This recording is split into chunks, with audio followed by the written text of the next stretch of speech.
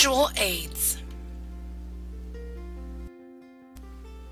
Visual aids or training aids of any type can be a great addition to any presentation. However, if not designed and used properly, they can detract so much from your presentation that the participants will not hear, see, nor understand the points that you're trying to convey. We will discuss a few of the most popular visual aids. Newsprint. Newsprint is a tool that most of us use quite often.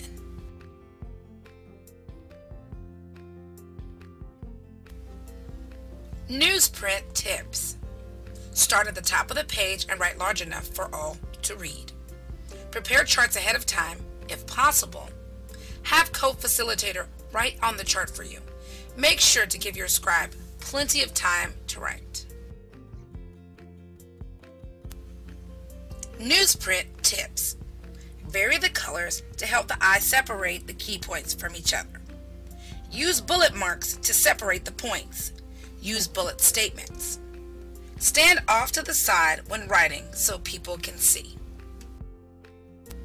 Handouts.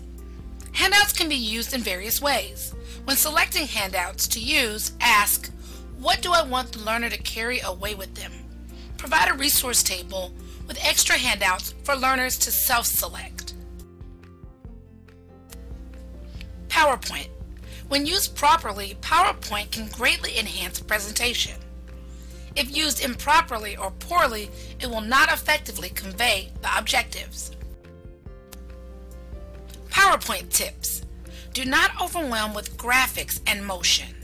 Do not use too many bullets per slide. Do not use a font smaller than 24 point. Do not put an entire lesson on the slide.